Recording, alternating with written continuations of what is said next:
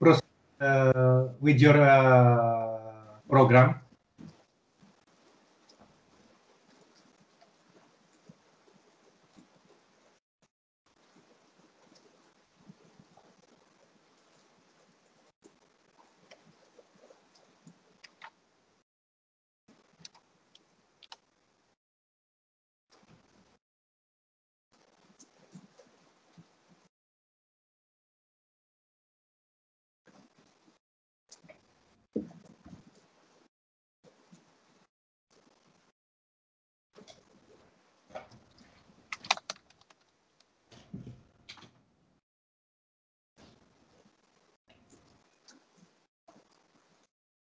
I've sent the first uh, question in in the chat box. Yeah, Uh, I saw it. Yeah, this is uh, question number one.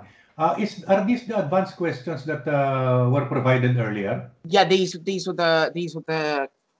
Uh, this is this is the first. I can I can send them all if you like. No, I, I already have them and also the answers of Joma. So you can just Cool. proceed with the, the conversation, with the interview. Cool, cool. Uh, I just um I think I think the only issue is didn't you say that Joma is having issues hearing me? Uh, yeah. Uh, but, but, Ah. uh, if they're all in the prompter, then he can just read the prompter because you're Cool. just reading, you'll just be reading the questions no? from the. Hey. Okay, yeah. Okay, so just go ahead, no?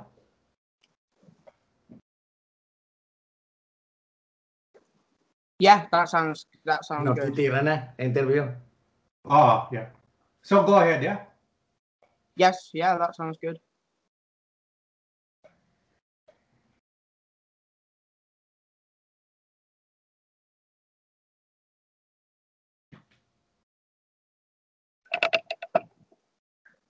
Uh, can can Joma hear me better like this?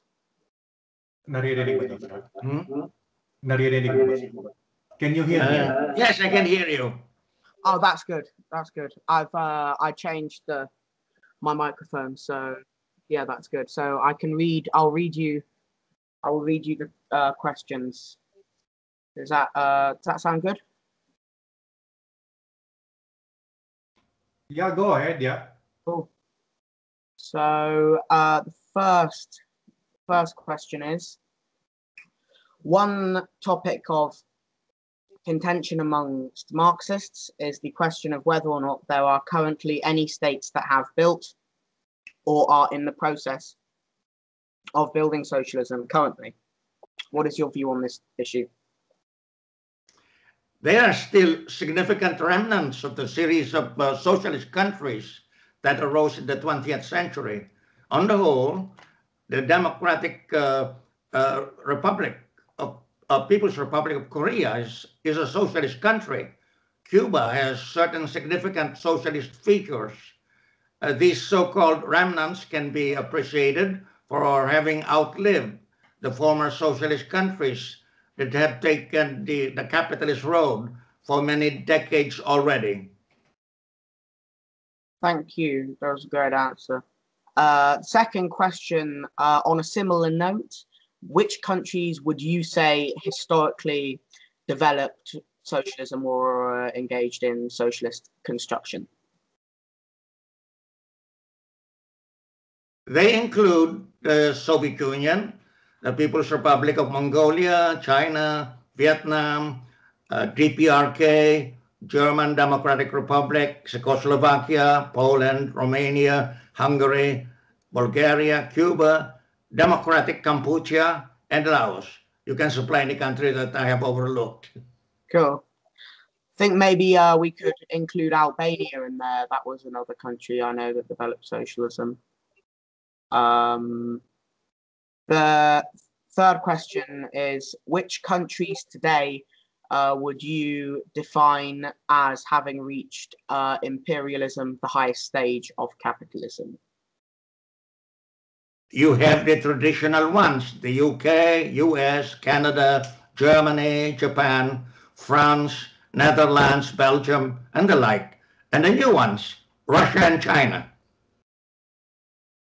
Uh, so, the fourth question uh, a trend I have observed emerging on the left lately, in particular, uh, a trend which I also observe to be a harmful and revisionist one, and one which often leads to electoralism, is so called uh, lesser evilism. For instance, last year, many self proclaimed leftists advocated for voting for Joe Biden due to the fact that, in their view, this would be better than Donald Trump, uh, ignoring completely Biden's own heinous imperialist record. Inevitably, this, had, this has led to men, many to proclaim that socialism can be won by voting alone. What, could, what would your advice be to combat this and the modern revisionism of today more broadly? You are correct in describing uh, Biden uh, and criticizing those who have obscured his rabid imperialist record it remains important and necessary to keep an ideological Marxist-Leninist Maoist stand against bourgeois reformism and electoralism, as well as against modern revisionism. However, there may be political flexibility in allowing anti-imperialist solidarity with certain countries which assert national independence and have socialist aspirations even if they were previously associated with uh, Soviet modern revisionism. The correctness of the Marxist-Leninist critique of modern revisionism is well proven by the collapse of the Soviet Union and the Dengist counter-revolution and capitalist restoration in China. We must recognize that the world proletarian revolution or socialist cause has suffered a big setback since its peak before 1956 and the US became the sole superpower from 1991 onward and rode high on the policies of anti-communism, neo-colonialism, neoliberalism, state terrorism, neoconservatism, endless wars of aggression. Most importantly, we must recognize that all these policies have gone bankrupt and have in fact accelerated the strategic decline of the US in the 21st century and the current rise of anti-imperialist and democratic mass struggles on a global scale, which are generating conditions for the rise of proletarian revolutionary parties and the resurgence of the world proletarian revolution. Thank you very much for that answer. That's a very, very fascinating answer. Uh, question number five.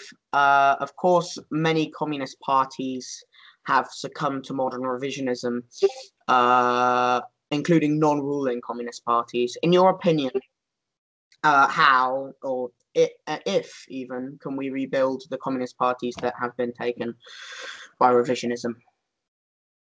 Communist parties that succumbed to modern revisionism underwent various ways of completely ending their pretense of being communist. Outside the revisionist ruled countries, some communist parties completely disintegrated after the collapse of the Soviet Union, and others split, with one part trying to be social democratic and the other part becoming a dwindling club of old folks. Within the former revisionist ruled countries, the previous ruling communist parties were generally put out of existence or put aside by the bourgeois parties. Some of the assets of the CPSU were conceded to its Russian replacement, and the latter persisted as a declining, castrated revisionist party. In China, the Communist Party has take, been taken over by the bourgeoisie since the Dengist counter-revolution, which expelled all genuine communists and enrolled the supporters of capitalist restoration. It continues eh, as the center of political authority and legitimator of the state and economy dominated by the partnership of the monopoly bureaucrat capitalist and the private monopoly capitalist. It is impossible to rebuild the old revisionist parties and convert them to genuine communist parties after so many decades of disintegration or decline. Many of the old revisionist folks are either dead or too old. It is more effective to build communist parties by bringing together those groups and individuals who have been guided by Marxism, Leninism, Maoism, and recruit and develop party members from the ranks of advanced activists in the current anti-imperialist and democratic mass organizations and movements. it is fine if there is already a Marxist-Leninist Maoist party that one can join in a certain country. If none, such a party should be built. The founders can start with the advanced elements of the current mass movement and who wish to build a new Marxist-Leninist Maoist party. Yeah, thank you for that answer. That was a very long and detailed answer. and I think, yeah, that answer was very helpful. Uh, one question I would like to ask you, um, considering the work I am currently doing and have done on the topic, and considering the fact that we are where we have we are in the 10th anniversary of the imperialist NATO assault on Libya, uh, is what is your opinion on uh, Muammar Gaddafi and the present day green resistance movement, uh, movement of those who were loyal to Gaddafi, who fought NATO imperialism and colonialism? Muammar Gaddafi was a great anti-imperialist leader. For decades, he fought hard against NATO imperialism and colonialism. Thus, the US, UK, France, and NATO imperialism did everything to attack and overthrow his government. Gaddafi enabled democratic reforms and provided substantial social benefits to the people from the oil income of Libya. It is important for the green resistance movement to cherish, perpetuate, and develop the legacy of Gaddafi.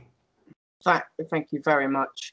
Uh, next question. Uh, the previous question could also be linked to the broader question of should communists support non-communist but still progressive anti-imperialist uh, anti-colonialist movements and governments such as for instance the polisario front in the sahara the, and the anti-imperialist uh, resistance in yemen what is your stance on this of course communists should engage in anti-imperialist solidarity alliance mutual support and cooperation with non-communist progressive and anti-imperialist movements and governments like the Polisario Front and the anti-imperialist resistance in Yemen. It would be dogmatism for communists to impose ideological principles on all types of uh, uh, relations and policies in the political field.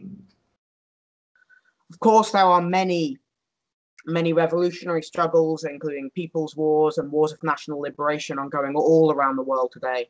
Which countries would you identify as currently having strong revolutionary potential, and do you envisage any ongoing people's wars being victorious in the near future? The most outstanding people's wars and wars of national liberation include those in India, Philippines, Nepal, West Papua, Uh, Myanmar, Turkey, Kurdistan, Donbas region, Palestine, Colombia, and Peru. All of them have a, have a strong revolutionary potential. We must grasp the point that the world capitalist system is in the throes of an unprecedented crisis due to the aggravation of the crisis of overproduction, the imperialist policies against the working class and against the oppressed peoples and nations. The various forms of anti-imperialist and democratic struggles have burst out all over the world and are favorable to all forms of revolutionary struggle and the resurgence of the world proletarian socialist revolution. Um, another trend that has been emerging amongst some, particularly amongst some self-described Maoists, is a trend known as third worldism. This essentially is the view that the first world has no revolutionary potential. Some third worldists go as far to say that there is no proletariat in the first world and that the entire population of the first world constitutes a labor aristocracy. What is your view on this school of thought? Uh, I do not agree with the trend known as third worldism, uh, which is submit, dismissive of the revolutionary potential of the proletariat in the industrial capitalist countries. I do not agree with such notions as that the first world has no revolutionary potential, that there's no proletariat in the first world, and that the entire population of the first world constitutes a labor aristocracy. These notions are nonsense. The crisis of capitalist countries, aggravated by the neoliberal policy of unbridled greed, is now characterized by the extreme exploitation and oppression of the working class, the dwindling of the so-called middle class, and the precarity and economic proletarianization of the petty bourgeoisie. What is needed now in the industrial capitalist countries is the building of proletarian revolutionary parties that can generate and intensify the campaigns to arouse, organize, and mobilize the proletariat and people against monopoly capitalism and for democracy and socialism. In your view, for revolutionaries in Europe and the First World more broadly, what revolutionary strategy do you think we should pursue? In Europe and the entire First World, uh, meaning to say, we've been using the term First World, meaning to say the, the developed countries or the industrial capitalist countries, you cannot avoid engaging first in building the genuine Communist Party and the mass movement and striving to win the battle for democracy against everything that the monopoly bourgeoisie can throw at the proletariat, including the coercive apparatuses of the state and the ideas of anti-communism, conservatism, liberalism, social democracy, neoliberalism, and fascism. It is only through the process of mass struggles that you can strengthen the Communist Party, the mass organizations, and the organizations of self-defense in mass organizations and communities. There must be such organizations for self-defense and Bolshevik-style efforts to send cadres into the reactionary army. A communist party that tries to start any kind of armed revolution without any strong and wide mass base, without self-defense organizations, and without the ruling system being sufficiently weakened, weakened by systematic crisis and imperialist war will be smashed in a matter of days or even hours. Only the infantile type of Maoist and agents and agent provocateur can suggest waging a protracted people's war in industrial capitalist countries in which the rural population is less than 5% of the national population and consists of rich peasants and farm workers employed mainly by uh, farm capitalists and corporations. So far, no group of infantile Maoists has launched an armed revolution in either cities or countryside of any imperialist uh, countries for more than 20 years. In the past, inter-imperialist wars like World War I and II provided favorable conditions for partisan warfare in both urban and rural areas in Europe.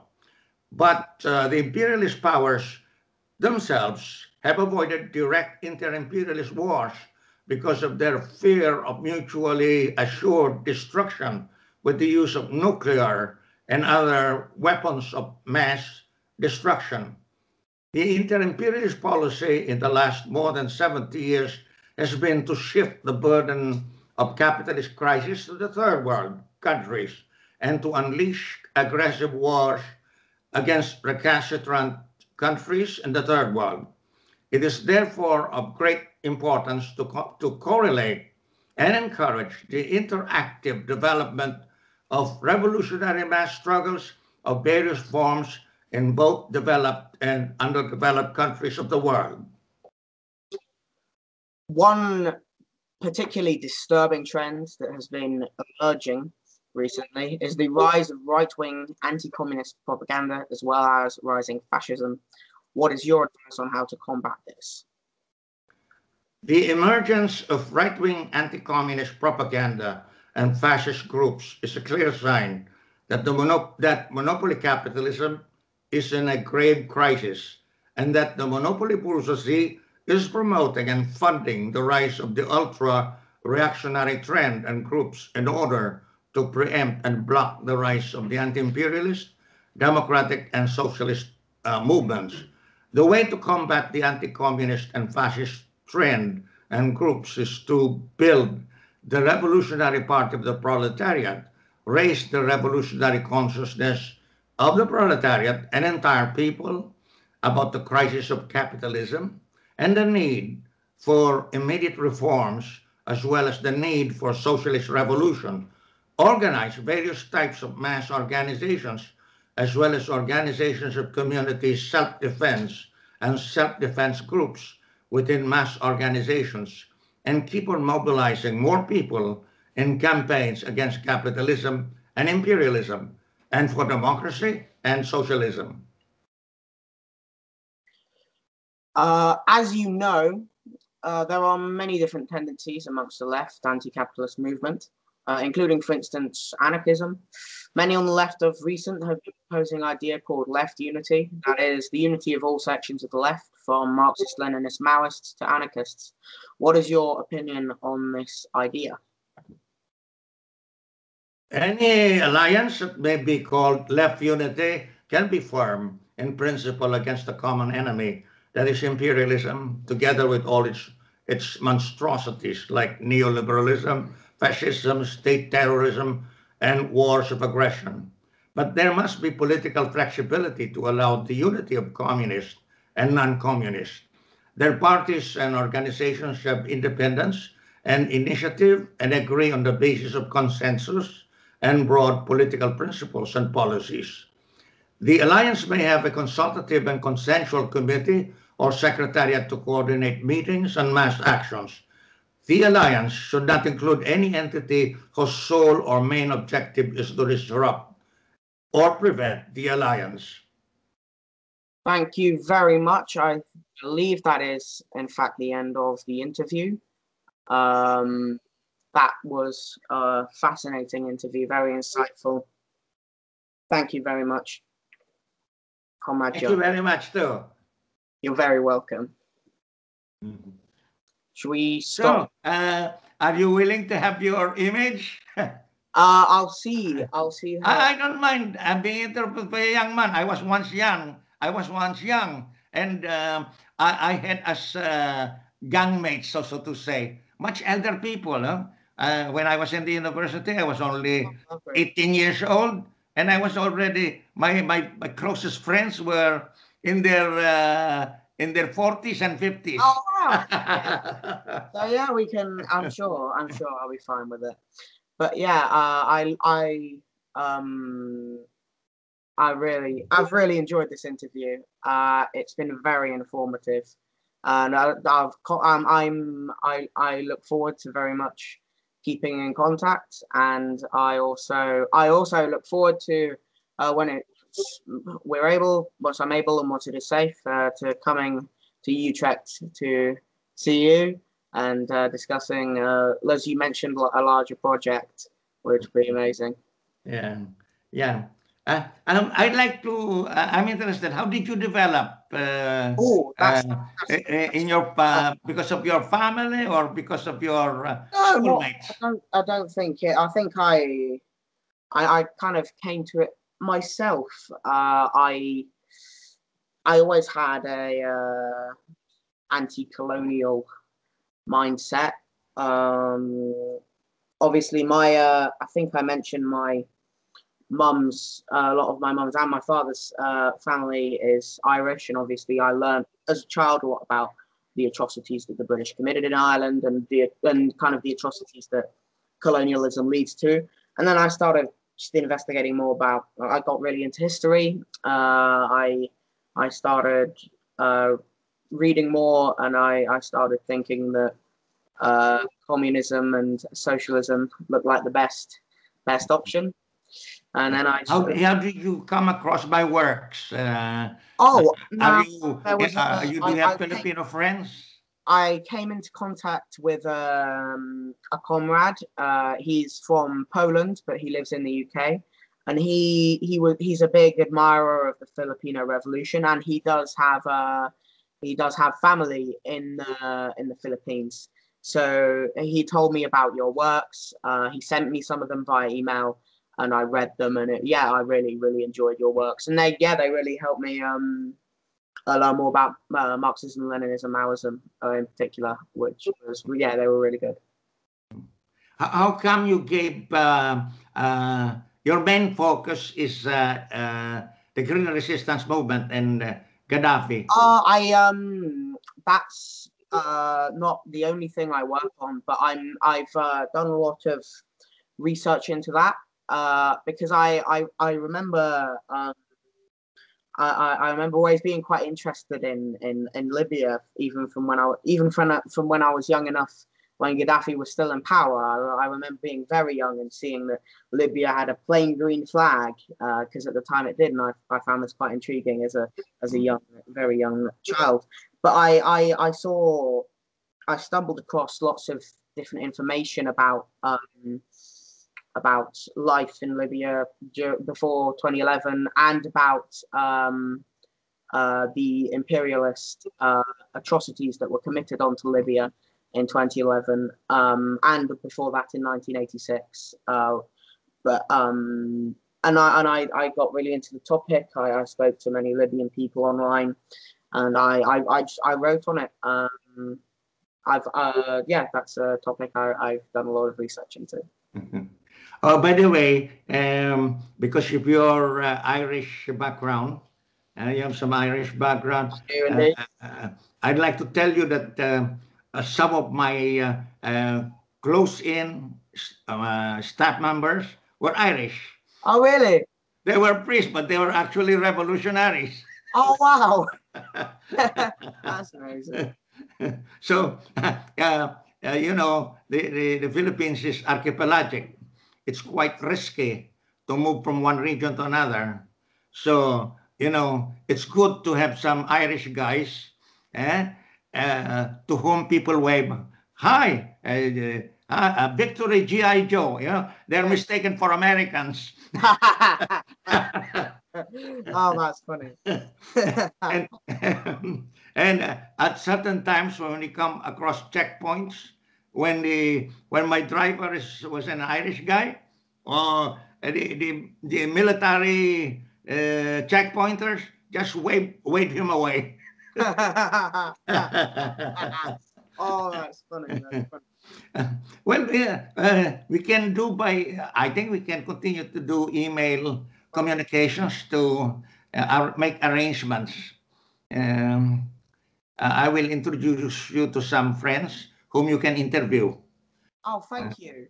Uh, especially uh, Kurdish uh, activist and the Palestinian activist. very much. That that's really that's really that's really uh, wonderful.